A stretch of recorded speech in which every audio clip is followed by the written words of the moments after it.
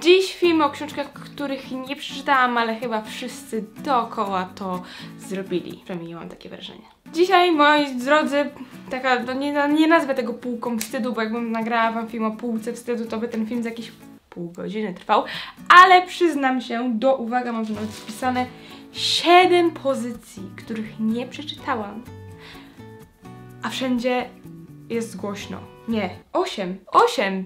Bo sobie przypomniałam o jednej. Zacznijmy od książki, przy której, przy mojej osobie było wielkie boom, że ja jej nie przeczytałam, a nie przeczytałam jej i do tej pory jej nie przeczytałam.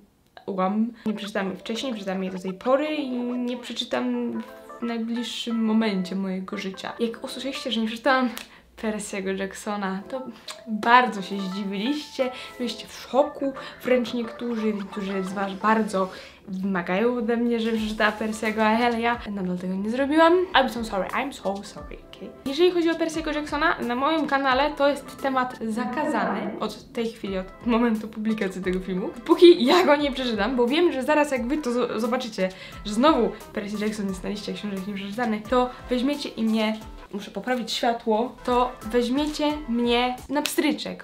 Go tam są, widzicie? Tu. Są komiksy ze Spider-Manem. Haha! Spider-Man, Spider-Man, Spider-Man. Następna książka to jest bardzo popularna książka, którą ludzie naprawdę oceniają 10 na 10 w skali Bufforta, 10 na 10 na Goodreads, na lubimy czytać i bla bla bla, chociaż nawet nie wiem, nie używam tych stron, ale wiem, że teraz wszyscy o niej gadają, bo wyszła niedawno druga część i jest to, moi drodzy, marzyciel. Brałam udział w reklamie marzyciela. Kurzu, trochę. Dzień dobry, szukam książki Była niebieska. O, to ta, dziękuję bardzo. Nie przeczytałam nadal marzyciela, co jest wstydem trochę, no jednak. Ale cieszę się, że jeszcze jej nie przeczytałam, bo teraz wyszła druga część, mogę zakupić drugą i od razu przeczytać jedną i drugą, tak za jednym zamachem. Następna książka to, uwaga, Szóstka Wron, moi drodzy, szósteczka Wron. Piękna szóstka Wron, Królestwo Kanciarzy tuż za nią. A to wszystko dlatego, bo postanowiłam sobie, że przed szóstką Wron muszę przeczytać e, trylogię Grisha. Ja przeczytałam tylko Cień drugiej części jeszcze nie przeczytałam, ale mam zamiar. Okej? Okay? Mam zamiar. Gra Tron to jest kolejna książka na liście książek, które chyba wszyscy czytał i każdy oglądał, ale ja nie. Książka polecana przez Ule, Ula, Słomka, ja wiem, ja wiem, ja wiem, ja wiem, Pielgrzym. Jest mi wstyd, że na tego nie przeczytałam. Ludzie też oceniają tą książkę na milion punktów w skali Buforta. Pielgrzym czeka.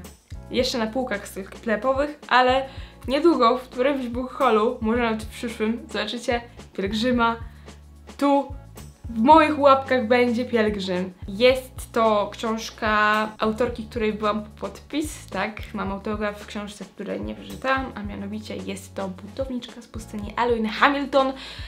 Aluin Hamilton jest naprawdę fajna, miło mi się z nią gadało. Mam wrażenie, że też wszyscy przeczytali Buntowniczka z pustyni. Mm, pierwszą, drugą, trzecią i nowelki. Ja jeszcze tego nie zrobiłam, ale mam zamiar, tylko czekam na odpowiedni moment swojego życia.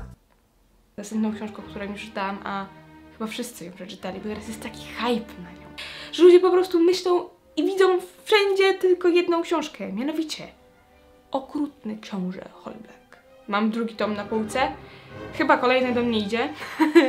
I think. Słyszałam, że polska część jest taka i ludzie już powoli zaczynają się segregować na jedni lubią, drudzy nie lubią. Tak więc y, z tego filmu to tyle. Moja półka wstydu się właśnie wam pokazała. Nie pytamy o Persiego, zapamiętamy to. no i tyle. Jeżeli chodzi o Persiego i ten film. Widzimy się za dwa miesiące. Ta groźba kiedyś się może spełni.